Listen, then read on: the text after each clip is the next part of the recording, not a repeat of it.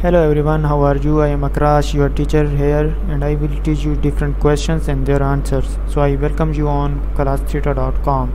So our today's question is macroeconomic topics do not usually include the profit maximizing decision of an individual manufacturer, the rate of inflation, the rate of unemployment, economic growth, and the answer of the question is macroeconomic topics do not usually include the profit maximizing decision of an individual manufacturer.